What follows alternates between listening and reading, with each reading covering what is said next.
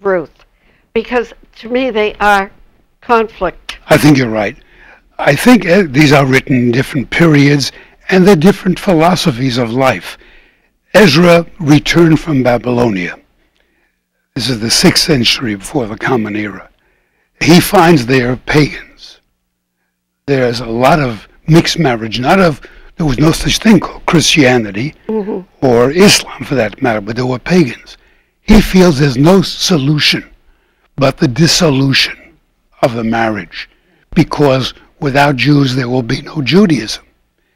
And that's what he says. Now, a lot of people have taken that and have run with it and somehow said, and we have people like that who are not bigots, but they, they are suspect of the foreign. It's called xenophobia, mm-hmm. the fear of the stranger. Yeah. Uh, who knows what lurks behind their minds? Yeah. When Ruth comes about, which is one of the great, remarkable biblical books in which she is a Moabite and becomes Jewish of her own volition. Uh, where you will live, I will live. Where you will lodge, I will lodge.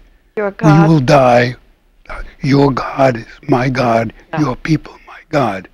This is, she becomes the great grandmother of David, from whom it is believed the messianic hero will descend.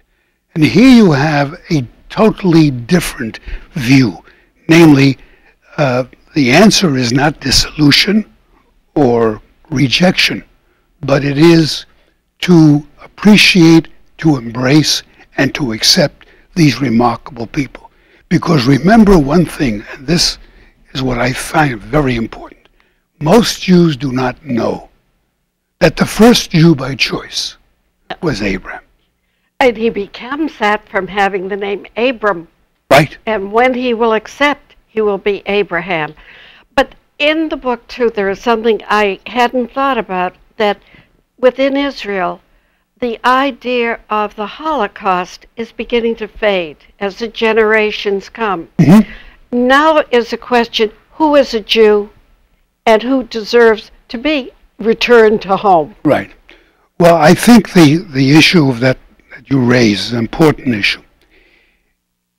There are fundamentalists in every religion. hmm We have them as well. Now, if you define Judaism as orthodoxy, Yeah.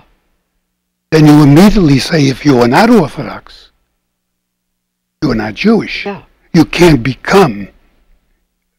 So there, my argument is that when you convert, when you choose, you don't choose a particular denomination. You choose Judaism. hmm And then within Judaism, you choose what it is that speaks to your heart, speaks to your soul, speaks to your mind. So uh, I accept Reform, Reconstructionist, New Age, many kinds of Jews.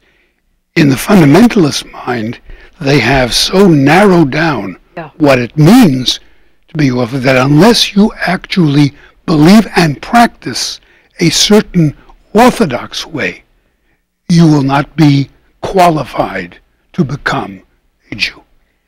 Is that a form of a cult? Well, uh, now we're into the labeling game. Yeah. And you, and I want to avoid that.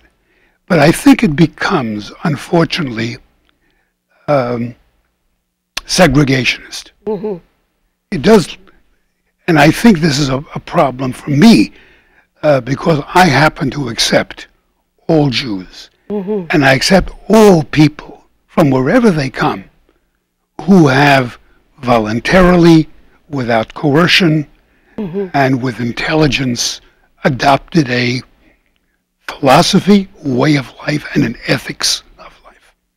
Many of them, too, which I loved, was that as children, they found with a Jewish friend the warmth within the home Yes, that they never forgot and that they wanted to have within their life as an, as an adult. that's quite correct. and uh, it's understandable. It's Mhm. it is, uh, um, and the important for them for them to understand is that also was not inherited. They may find it, and then suddenly find a family, Jewish family, that's not so warm. Yeah. Now they understand it's their responsibility to make a warm family. Do you find that most of these Jews by choice are finding an affinity more to conservatism than to reform? No, I can't say that. Yeah. No, I, don't know statistically what, I- what I will say is this: that reform, to their credit, have been very open.